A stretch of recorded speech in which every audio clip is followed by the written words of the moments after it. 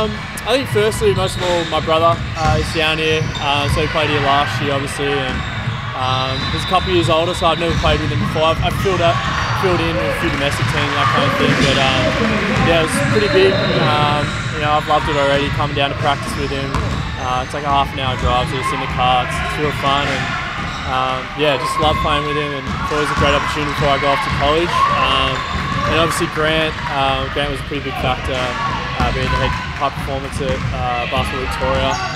Um, so he contacted me pretty early uh, last year and said, oh, I'm going to be the coach, uh, would you be interested? And yeah, just sort of went from there. Basically those two, my brother and, and Grant, so I went from there. Um, yeah, I think you know, the Centre of Excellence is probably the reason why I am where, where I am today, and it's definitely helped me a lot. Um, just teach me, teach or everyone that goes there how to be a professional. You know, training, schoolwork, managing your load, traveling internationally, all that kind of stuff. It just teaches you a lot about, um, you know, about, a lot about yourself as well. You know, I learned, I was there, I left when I was, uh, left home when I was 16 to go up there, so I learned a lot my, about myself personally, and um, yeah, it was just an awesome experience being, being up there. Yeah. Um, well, it's my first time playing on a team with men. Uh, I played two years of SEABL with the AIS, but didn't have any men on our team, obviously, so it's, it's been pretty interesting. So I'd like to think I bring a bit of youth and um, you know, a bit of a. I like to play a little more fast-paced sort of transition game, and yeah, I like to try and push the ball, get everyone involved.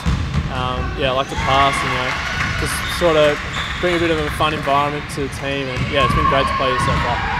Um, for me this season, I'm here for the first, I think, 10 games.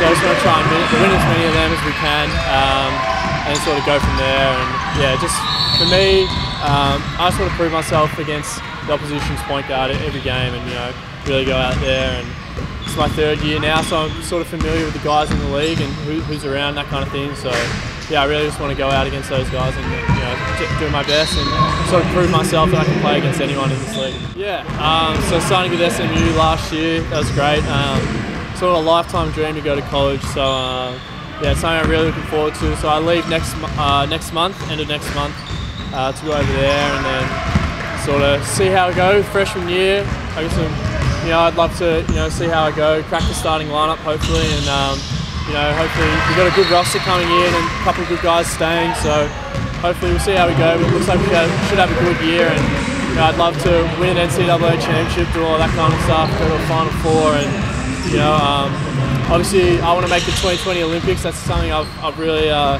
you know, spoke, spoken to Andre about, and something I've, I've, I guess it's probably my biggest goal. I'd say, you know, there's nothing better than representing your country, and to do it at Olympic Games would be, would be amazing. And then um, hopefully after my college career, give the NBA a crack. But who knows? We'll see how we go. And yeah, just looking forward to it. It's going to be an awesome journey.